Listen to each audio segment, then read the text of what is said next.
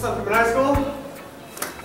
As you know, prom is coming up, and the floor department is selling boutonnieres and corsages. You can buy your date's corsage and boutonniere at D105 during lunch or after school.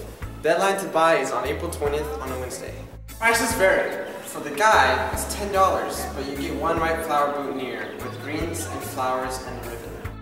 For the girl, you get three bloomers corsage with greens, flowers, and ribbon. Just $15. For the couple, you get everything for just $20. $20. Okay, Pittman, make sure you buy your boutonniere and corsage at the floor department. Remember, it's D105 during lunch or after school. D105. Well, that's all, folks.